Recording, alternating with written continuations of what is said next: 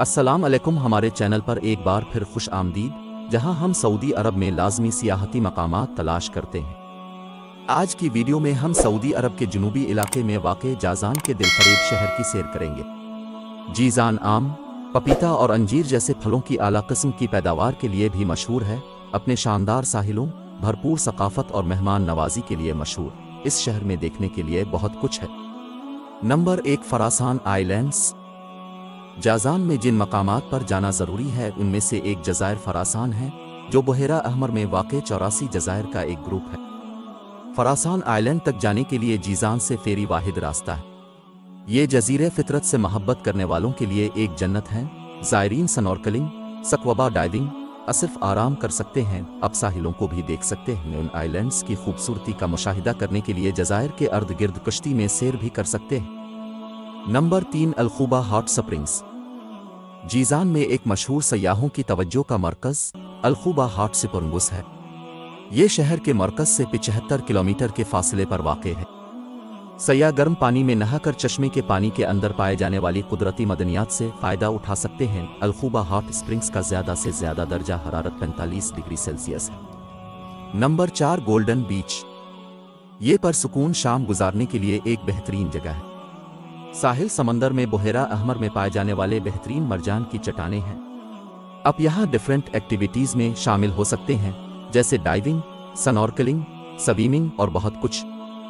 Number पाँच, Mohammad bin Nasir park. ये वसी व अरीज पार्क शहर के वस्त में एक सब्ज नखलिस्तान है, जिसमें सरसब्ज बागात, दिलकश वाकवेज और हर उम्र के अफराद के लिए तफरीही सहूलियात मौजूद है। नंबर छः फीफा के पहाड़। ये खूबसूरत पहाड़ सऊदी अरब के ज़िला जीजान में फीफा कस्बे के करीब वाक़ है। पहाड़ों को चाँद का पड़ोसी और ज़मीन पर जन्नत कहा जाता है। इलाके में काफ़ी बारिश होने की वजह से पहाड़ पर खूबसूरत हरियाली है। पहाड़ की चोटी पर पहुँचने के बाद सयाह एक खूबसूरत नज़ारे का मुशाहिदा करते हैं। हाइकिंग के शौकीन अफराद के लिए ही बेहतरीन जगह है। नंबर सात वादी लजाब। ये एक मुतासर कन वादी है जो सऊदी अरब की किसी भी दूसरी वादी से ज़्यादा मीठा पानी पैदा करती है। ये वादी जो तकरीबन पाँच किलोमीटर लंबी और तीन से तीस किलोमीटर चौड़ी है। वादी लजाब दो बड़े पहाड़ों के दरमियान एक तंग रास्ता बनाती है। ये बहुत खूबसूरत जगह है। नंबर आठ तर्क कला या उलदौसर ये कला। ये जनूबी सऊदी अरब में जीजान के मरकज़ में एक पहाड़ पर मौजूद एक तारीखी मकाम है। तर्क कैसल का कल रकबा तकरीबन 900 मीटर है और ये चार बड़े टावर्स से घिरा हुआ है। ये सतह समंदर से एक अंदाजे के मुताबिक 150 मीटर की बुलंदी पर है।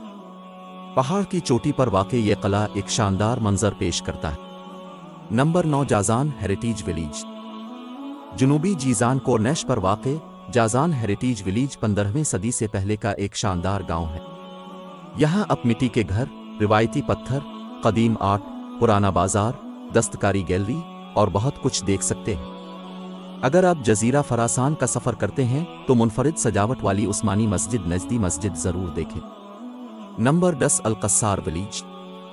फरासान इलैंड्स का ये गाँव तारीख में दिलचस्पी रखने वालों के लिए लाजमी देखने की जगह है। गाँव की तारीखी इमारतें पत्थर और खजूर के दरख्तों से बनी हैं।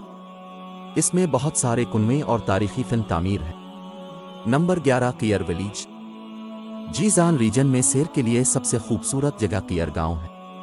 ये फीफा से एक घंटे की ड्राइव और जीजान शहर से दो घंटे की मुसाफत पर है। नंबर बारह अल्फजान पार्क। ये फैमिलीज़ के लिए एक बेहतरीन सैर की जगह है।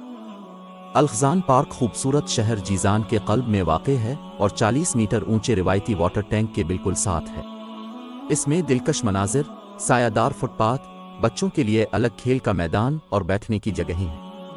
नंबर तेरह औकात सईदा थीम पार्क। ये एक तफरीही पार्क है जो जीजान शहर में मौजूद है। ये पार्क इन लोगों के लिए बेहतरीन है जो शहर की हलचल से दूर कुछ वक्त गुजारना चाहते। इस थीम पार्क के अंदर कैफ़े और रेस्तोरान भी मौजूद हैं, जो मुख्तलिफ़ किस्म के आला मैार के खाने पेश करते हैं। नंबर चौदह अल राशिद माल। इसमें मुतद स्टोर्स, कैफ़े, बुटीक और ब्रांडेड स्टोर्स मौजूद हैं। माल में आर्केड टॉयलैंड और आइस स्केटिंग रिक समेत मुतद तफरीही मकाम भी मौजूद हैं। नंबर पंद्रह कादी माल।